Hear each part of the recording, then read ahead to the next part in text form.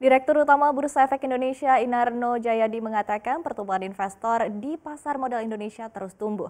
Saat ini jumlah investor sudah mencapai 2,2 juta investor di mana jumlah ini tumbuh double digit dalam lima tahun terakhir.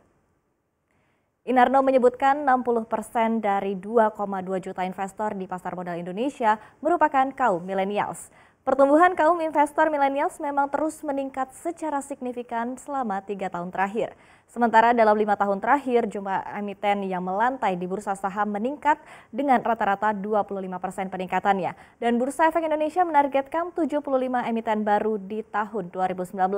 Sementara per Januari hingga Oktober 2019 tercatat baru 42 emiten yang melakukan initial public offering dan 36 calon emiten berada dalam pipeline.